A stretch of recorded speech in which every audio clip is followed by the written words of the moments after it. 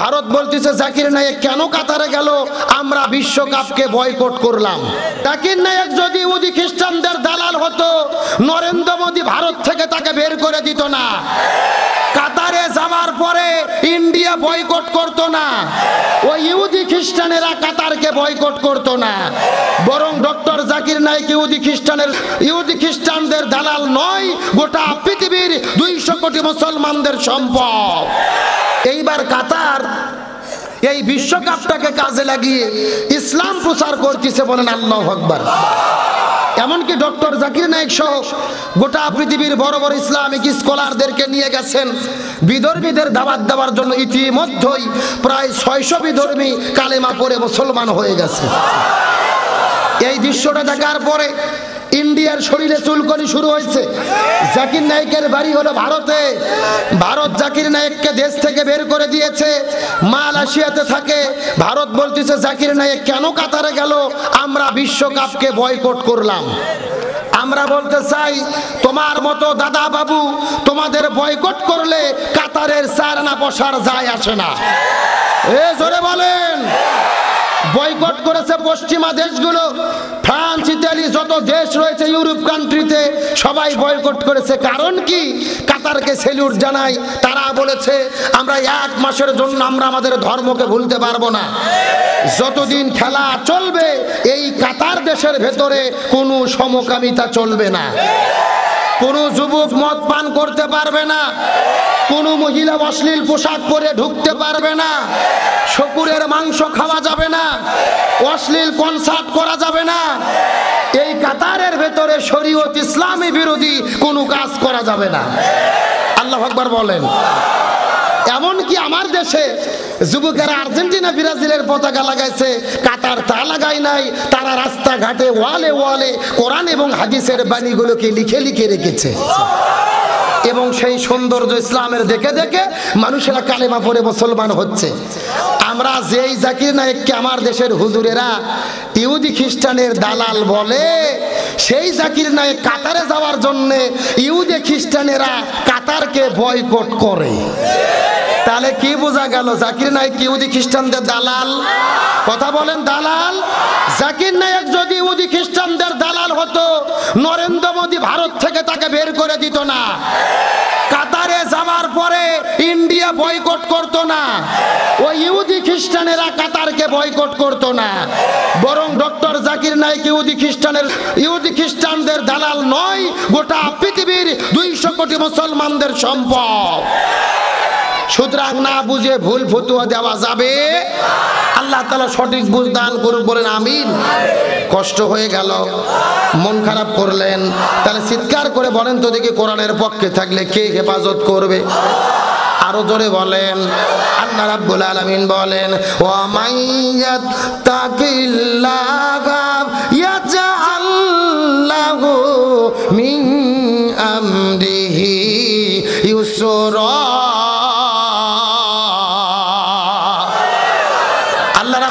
রাব্বুল তোমরা যদি ইমানের পথে থাকো, কোরআনের পথে থাকো, আল্লাহ তোমাদেরকে হেফাজত করবে আর আলেমদের সম্মানটা বৃদ্ধি করে দেবে কে? কথাগুলো সুন্দর করে বোঝার চেষ্টা করবেন। আল্লামা খাজা কুতুবুদ্দিন আলবে কাল কাকি রহমতুল্লাহ আলাই যেদিন পৃথিবী থেকে বিদায় নিয়ে চলে যাবেন, বিদায় নেওয়ার পূর্ব মুহূর্তে তার ছাত্রদেরকে ডাক দে বলে, এ ছাত্ররা রে, আমি বিদায় নিয়ে চলে যাব। আমার মৃত্যুর পূর্বে তোমাদের কাছে নসিহত করে যেতে চাই। আমার মৃত্যুর পরে যেন তেন কোনো মানুষ জানাজা পড়াতে পারবে না। আমার মৃত্যুর পরে আমার জানাজা এমন মানুষটা পড়াবে, আমার জানাজার নামাজের ইমামতিটা এমন মানুষটা করবে, যেই মানুষের ভেতরে চারটা গুণ পাওয়া যাবে। জোরে বলেন কয়টা? আরও জোরে বলেন। এই কথা শোনার পরে ছাত্ররা চোখের পানি ফেলে কান্না করা শুরু করলেন। হুজুর, আপনি বিদায় নিয়ে চলে যাবেন। কিন্তু আপনার মৃত্যুর পরে আমরা জানাজা পড়তে পারব না। এটা কেমন নসিহত করলেন হুজুর বলেন তো দেখি। এমন সময় কুতুবুদ্দিন আল বেকাল কাকি রহমতুল্লাহ আলাই বলেন, তোমরা ভালোভাবে জেনে নাও, আমার জানাজা অবশ্যই পড়াবে, তবে যেন তেন কোনো মানুষ পড়াতে পারবে না। যার মধ্যে চারটে গুণ পাওয়া যাবে, ওই লোকটা আমার জানাজার নামাজের ইমামতিত্ব করবে। সবাই কান্না করতে করতে বলে, হুজুর, আপনি বলেন তো দেখি, কি চারটা গুণ থাকা লাগবে বলেন তো দেখি। এমন সময় কুতুবুদ্দিন আলবে কাল কাকি রহমতুল্লাহ আলাই বলেন, আমার জানাজার নামাজটা ওই মানুষটা পড়াবে, তার মধ্যে প্রথম নম্বর গুণ থাকা লাগবে। যেই মানুষটা চল্লিশ বছর ধরে জীবনে কোনো দিন জামাতে নামাজ কাজা করে না কত বছর বললাম? এক নয়, দুই নয়, চল্লিশ বছর ধরে জামাতের সহিত নামাজ আদায় করেছে। তাকবিরে উলার সঙ্গে নামাজ পড়েছে। শুধুমাত্র নামাজ পড়েছে তাই নয়, জামাতের সাথে পড়েছে, আবার জামাতের সাথে পড়েছে তাও নয়। তাকবিরে উলার সঙ্গে চল্লিশ বছর ধরে নামাজ আদায় করেছে। চারটা গুণ থাকা লাগবে। প্রথম নম্বর গুণ হলো চল্লিশ বছর ধরে জামাতের সহিত যেই লোকটা নামাজ আদায় করেছে। দুই নাম্বার গুণ হলো ভালোভাবে জেনে নাও, যেই লোকটা চল্লিশ বছর ধরে একাধারে রাতের বেলা তাহাজ্জত নামাজ আদায় করেছে। কত বছর বললাম? এই চল্লিশ বছরের মধ্যে কোনোদিন তাহার তাহাজ্জতের নামাজটাও ছেড়ে দেয় নাই। প্রথম নাম্বার শর্ত হলো চল্লিশ বছর ধরে জামাতের সহিত নামাজ আদায় করেছে।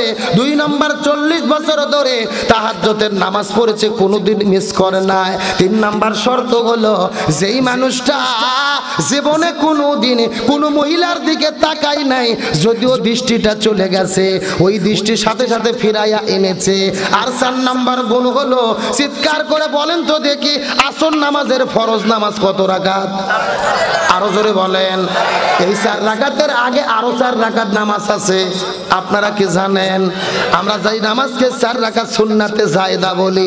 পড়লেও হয়, না পড়লেও হয়। কুতুবুদ্দিন আলবে কাল কাকি রহমতুল্লাহ আলাই বলেন, আমার জানাজার নামাজটাই এমন মানুষে পড়াবে, যেই মানুষটা জীবনে কোনো দিন আসর নামাজের আগে যেই চার রাকাত সুন্নত আছে, এই সুন্নাতটাও জীবনে কোনো দিন ছাড়ে না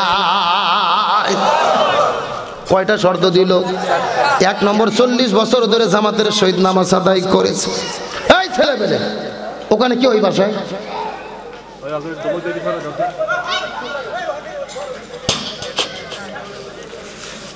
আমার ভাইরা, কষ্ট হচ্ছে নাকি আপনাদের? কথাগুলো সুন্দর করে বোঝার চেষ্টা করেন। চারটা শর্ত দিলেন কুতুবুদ্দিন আল বেকাল কাকি রহমতুল্লাহ আলাই চল্লিশ বছর ধরে নামাজ পড়েছে জামাতের সাথে। দুই নম্বর চল্লিশ বছর ধরে তাহাজ্জদের নামাজ পড়েছে। তিন নম্বর কোন মহিলার দিকে নাই। আর চার নম্বরে আসর নামাজের আগে চার সুন্নাতটাও যেই লোকটা জীবনে ছাড়ে নাই, এই চারটা গুণালা লোক যদি পাওয়া যায়, আমার জানাজার নামাজ পড়াবে। আর এমন লোক যদি না পাওয়া যায়, আমার জানাজা দেওয়ার কোনো দরকার নাই। আমার ভাইরা কথাটা সুন্দর করে বোঝার চেষ্টা করবেন আল বেকাল কাকি রহমতুল্লাহ আলাই হঠাৎ করে একদিন পৃথিবী থেকে বিদায় চলে গেল। লক্ষ লক্ষ মানুষ জানাজা নামাজ পড়ার জন্য হাজির হয়ে গেল। জানাজা পড়াবে ঘণ্টার পর ঘণ্টা পার হয়ে যায়। কিন্তু জানাজার নামাজ যখন হয় না, এমন সময় একটা ছাত্র দাঁড়িয়ে বলে, এ লক্ষ জনতা, মৃত্যুর পূর্বে কুতুবুদ্দিন আল বেকাল কাকি রহমতুল্লাহ আল্লাহ নসিহত করে গেছেন।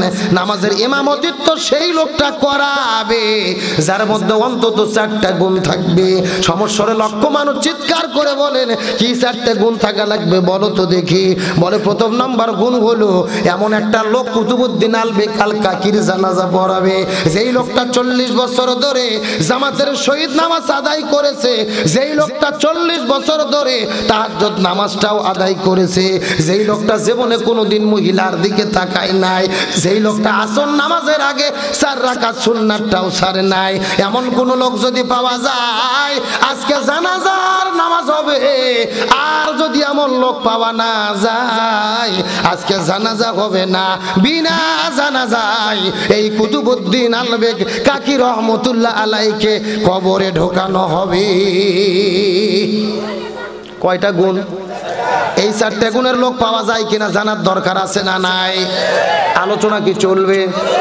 এ কথা বলেন, চলবে। কথা বলেন, চলবে। কারা কারা চলবে? হাত উঠান তো দেখে। লিল্লাহে তাকবীর। আজকের মাহফিল চলছে, চলবে। সিরাজগঞ্জের মাহফিল রানীগ্রামের মাহফিল। কতক্ষণ চলবে? কি সারা রাত এটা কি হুজুর মারা ওয়াজ নাকি? আমার ভাইরা কষ্ট হচ্ছে, মন খারাপ করতেছেন। তাহলে কুতুবুদ্দিন আলবে কাল কাকির জানাজা হয় কি হয় না? জানার দরকার আছে না নাই? অবশ্যই জানাব, যদি এখন অনুমতি দেন, যেহেতু স্লিপ দিয়েছে, আমি মহিলাদের জন্য পাঁচ মিনিট কিছু বলব। রাজি আছেন তো ইনশাল্লাহ আমার ভাইরা কথাটা সুন্দর করে বোঝার চেষ্টা করবেন। আমার নামে যে মসজিদ নববীর ভেতরে সমস্ত সাহাবিদেরকে ডাকতে বলে, ও সাহাবিরা, ছয় প্রকার নারীকে কখনো বিবাহ করা যাবে না।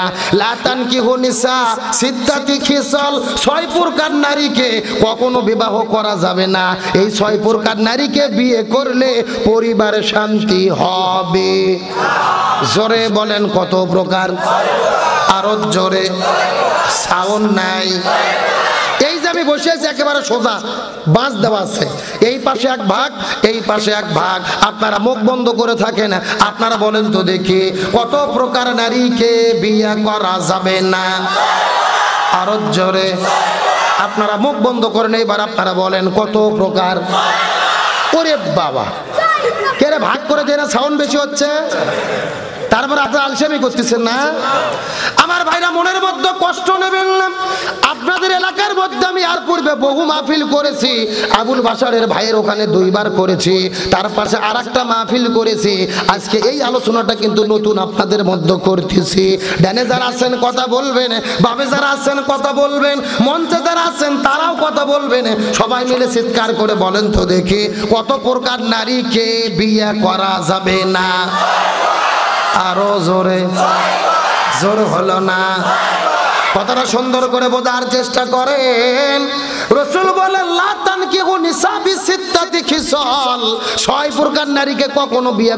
না। বলে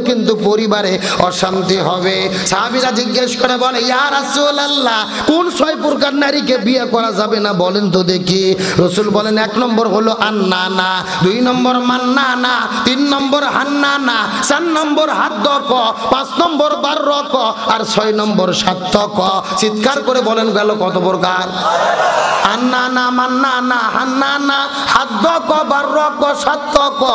ছয় ছয়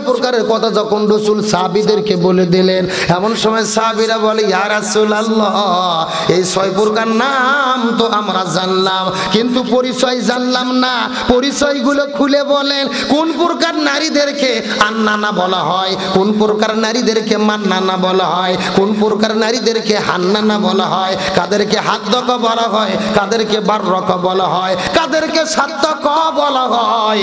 আপনি একটু ব্যাখ্যা করে আমাদের মধ্যে বলেন তো দেখি। সাহাবিরা রসুলের কাছে জানতে চাই ও সিরাজগঞ্জের মুসলমান, আপনারা আমার কাছে জানতে চান কি চান না? আরও জোরে বলেন। কথাটা সুন্দর করে বোঝার চেষ্টা করবেন। এই নম্বর প্রকার হলো আন্নানা। আন্নানা হলো ওই প্রকার মহিলাগুলো, যেই মহিলাগুলো সারাদিন শুধু ওজোর আপত্তি পেশ করে।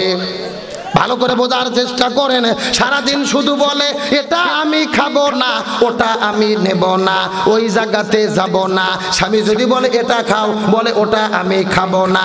ওখানে চলো বলে, আমি যাব না। ওইটা করো বলে, আমি করব না।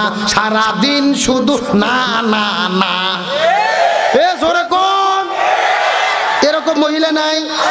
সারাটা দিন শুধু না না না। এটা খাও, খাব না। এটা নেও, নেব না। ওখানে চলো যাব আছে না নাই? জন্য এক নম্বর হলো আন্না না আন্না না মহিলাকে যদি বিয়ে করেন পরিবারের শান্তি হবে না। ও মা বোনের আপনাদের দু পায়ে হাত দিয়ে অনুরোধ করে বলি, আমার এই কথাগুলো ভালো করে বোঝার চেষ্টা করবেন। এই গুণগুলো কিন্তু হলো ইহুদি খ্রিস্টানদের মেয়েদের গুণ। এই গুণগুলো আপনাদের মধ্যে থাকা যাবে না। এই গুণগুলো কি কি ব্যাখ্যা সহ বোঝার চেষ্টা করেন। এক নম্বর হলো আন্না না আর দুই নম্বর হলো মান্না সাবিরা জিজ্ঞেস করে বলে, ইয়া রাসূল আল্লাহ মান্নানা কাদেরকে? বলা হয়, রসুল বলে, এ সাবিরা রে মান্নানা হলো ওই প্রকার মহিলা, যেই মহিলাগুলো সারাদিন শুধু খোঁটা দিয়ে কথা বলে। কি দিয়ে কথা বলে, ভালো করে সুন্দর করে বোঝার চেষ্টা করবেন। স্বামীর জমি হলো বিশ বিঘা, জোরে বলেন কত বিঘা? কিন্তু বউ তার বাপের বাড়ি থেকে নিয়ে আসছে দুই বিঘা। সারাদিন স্বামীকে বলে, আমার বাবার বাড়ি দুই বিঘা জমি ছাড়া তোমার সংসার তুলতো না। কথা কন না কে? মানে স্বামীর যে বিশ বিঘা ওর কোনো দামই নাই। ও বাপের বাড়ি থেকে দুই বিঘা নিয়ে এসেছে। বলে, আমার জমি ছাড়া চলতো না। কথা কন না কে। আর যেই লোক শ্বশুর বাড়ি খাট নেছে, ভাই খাট এ যে কি অশান্তিতে আছে। এক মাসের মধ্যে অন্তত পঁচিশ দিনে খাটে শুইতে পারে না। মানে কিছু না হতে বউ বলে খাটের থেকে নাম। কথা বলে না কেন? এই জন্য মান্না না হলো খোটা দিয়ে কথা বলা। কথাটা সুন্দর করে বোঝার চেষ্টা মধ্যে কিছু কিছু দরিদ্র মহিলা থাকে কি থাকে না? স্বামীগুলো ভালো করে বাজার করে না, বাজার করে না, রান্নাও করতে পারে না। একটু চালের দরকার যায় একটু একটা। মনে করেন এই যে হুজুরকে দেখতেছেন, হুজুরের বইয়ের কাছে চলে যায়। যে বলে, রান্না করার মতো চাল নাই, এক কেজি চাল দেন। হুজুরের বউ খুবই ভালো চাউল দেয়। পরের দিন আবার যায়, আজকে একটু তরকারি নাই পেঁয়াজ দেন, মরিচ দেন। পরের দিনে আবারও দেয়। অভ্যাসটা খুবই ভালো, যা চাই তাই দেয়। কিন্তু পরের দিনে আবার শত শত মহিলার ভেতরে খোঁটা দিয়া বলে, আমার বাড়ির চাল ছাড়া তোর বাড়ির ভাত হয় না মানে দেয় ঠিকই, পরে আবার কি?